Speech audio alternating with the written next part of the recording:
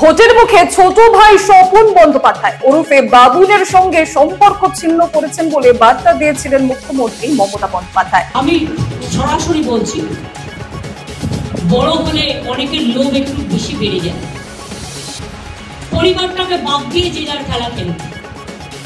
আমার পরিবারের ও কোনো মেম্বার বলে আমি মনে করি না।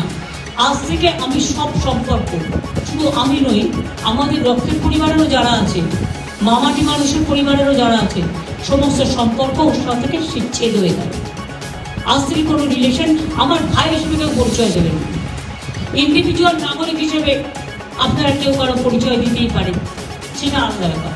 তো প্লিজ দয়া করে আমার নামটা ইউজ করবেন না বিকজ আমি টোটাল ডিসঅ্যাসোসিয়েট করে দিয়েছি আমাদের ফ্যামিলি বন্ডিং নো রিলেশন সুতরাং আমাদের দল যাকে প্রার্থী করেছে, তিনিই আমাদের প্রার্থী। অশোক ব্যানার্জি একজন অর্জুন অ্যাওয়ার্ডই মনে রাখতে হবে। আর যে ভদ্রলোকের নাম আপনারা বলছেন, আমি আপনাদের বলি, তার অনেক কাজকর্মই আমার অনেক দিন ধরে পছন্দ নয়। তার কারণ, আমি অন্যায় কখনো সহ্য করি না। কিন্তু সবাই তো আর বাইরে সবটা বলতে পারে না। অনেক সময় বুক ফাটে তো বুক ফাটে না। যে যেখানে ইচ্ছে যেতে পারে, আমার পরিবারের সবাই যদি বলে, আমি এমপি ইলেকশনের টিকিট চাই, এমএলএ ইলেকশন টিকিট চাই, তাহলে আমি তো পরিবারতন্ত্র করব। আমি পরিবারতন্ত্র করি না, আমি মানুষতন্ত্র করি। এবং তাই মানুষের পরিবারই আমার পরিবার। আমি সবাইকে বলব, আমার সাথে কোনো সম্পর্ক রাখবেন না। যে আমার সাথে কোনো সম্পর্ক ছিল একদিন, ভুলে যাবে। আজ থেকে কোনো সম্পর্ক থাকবে না। যে যার স্বাধীনতা নিয়ে যেখানে ইচ্ছে লড়াই করতে পারে, আমি এত লোভী লোকেদের পছন্দ করি না।